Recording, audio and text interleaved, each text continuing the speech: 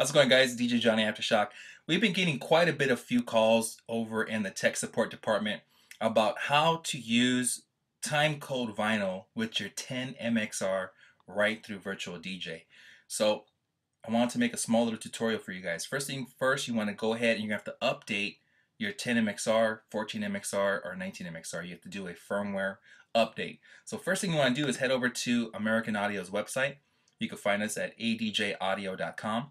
You're going to click on the MXR series of controllers. You're going to pick and choose which one you have, 10, 14, or 19. I have the 10, so that's going to pick. Then you're going to scroll down till you find the download. It's going to be Virtual DJ DVS timecode support for Mac. Once again, guys, this is only for a Mac. If you are using a PC, the ASIO driver should compensate for it. You should have no problem whatsoever. So once again, this is just for a Mac. I myself am using a MacBook Pro 13 inch and I am using it with, I'll show you right now, 10.6.8. I have a 2.4 GHz Intel Core 2 Duo, 8 GB of memory. You know, it's an older Mac. It's nothing powerful. It's nothing brand new. But uh, either way, you still have to update the firmware. So let's get busy. Click on that. You're going to go ahead and see this. You're going to go ahead and download it. Save the file to some place where you can find it easily. I just drop it right on my desktop. It's quick, super fast, downloads. And here is the file right here. So within this file, you're going to find the software, which is the firmware update. All right, so the firmware update is right there. Now what you're going to do is you're going to insert that disk that came with your 10 MXR that came in the box. You're going to go ahead and uh, load that in. And then within that disk, you're going to click on the Mac folder, and then you're going to find this little folder within that Mac folder. It's a firmware update tool. So you're going to go ahead and double click on that, drag it to your um, desktop out of the software uh, DVD or disk onto your desktop, and it's an ADJ firmware uploader. Double click on that. This will open up right here. It says, welcome to the firmware upgrade utility. It says, please select a device. So I'm going to go down, I'm going to pick my 10MXR.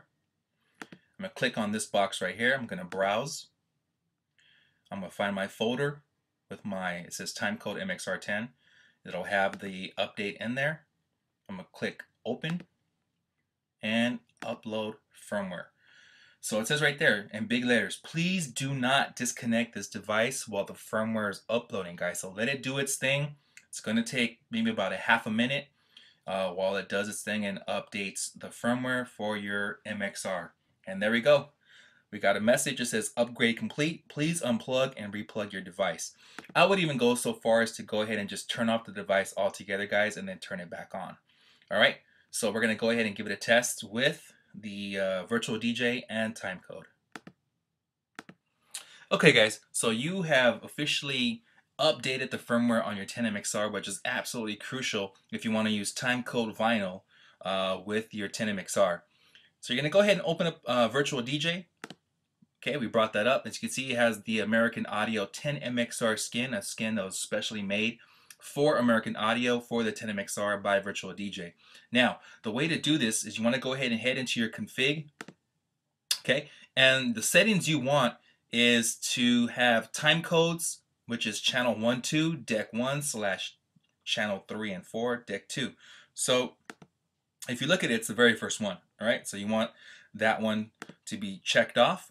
Next thing you want it under an external mixer and that's going to be of course the first one as well okay and then you want to choose um, 10MXR so once you uh, you know go to this little arrow here and bring it down it's going to say built-in output or 10MXR obviously you want the 10MXR and you're going to hit apply okay and then you could go ahead and load a song off right from the MXR. Uh, the load B button, you hit that, or you could scroll down with your navigational knob and you could uh, load up a song right through the MXR, which is really freaking cool.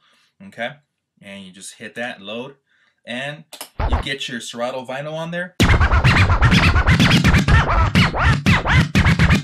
All right, you're all set, guys, and you are now rocking vinyl without a sound card you're just basically going right out of the MXR using Serato uh, timecode vinyl with Virtual DJ. Okay, so once again, we're using Virtual DJ here, but uh, we suggest that you use uh, any any type of uh, Serato uh, timecode vinyl. Usually works best. All right.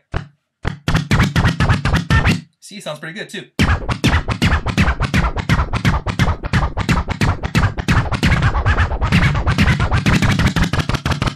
Pretty good tracking. Enjoy, guys.